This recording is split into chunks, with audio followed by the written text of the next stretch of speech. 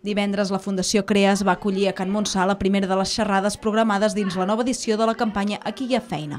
S'han seleccionat una sèrie de xerrades i tallers estructurats en una part teòrica i una de pràctica i dirigits a alumnes tant de primària com de secundària, batxillerat i cicles, amb l'objectiu de despertar la vocació pel sector alimentari. En aquesta xerrada s'havien convidat a joves d'entre 16 i 18 anys que formen part del programa Noves Oportunitats. Per motius diversos no han trobat el seu lloc als instituts i per la seva edat tenen dificultat per incorporar-se al mercat laboral.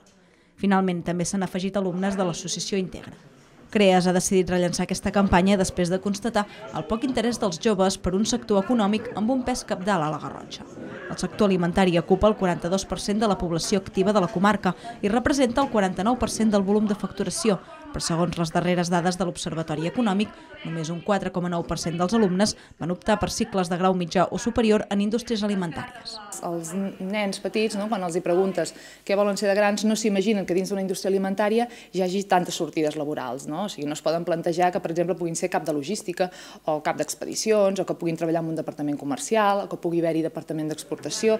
Pot donar-te moltes sortides i moltes, dins de molts àmbits. No? Llavors això segurament es desconeix.